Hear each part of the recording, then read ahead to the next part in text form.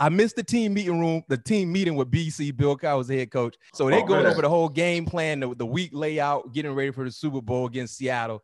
And soon as I walk in, all the vets looking at me. So Coach LeBeau walk up to me. He said, Matt, man, BC want to talk to you. Bro, this is the first time I ever went into Bill Cowher's office. Man, I walked in, BC hit me with the uh hey Matt, were you late?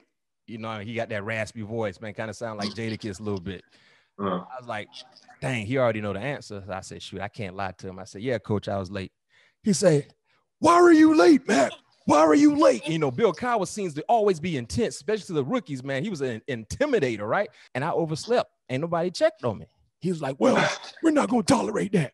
I'm taking all your Super Bowl tickets. Pat, when he told me he would take my Super Bowl tickets, I about died. He hit me with the, hey, Matt, I'm just joking with you. Good game.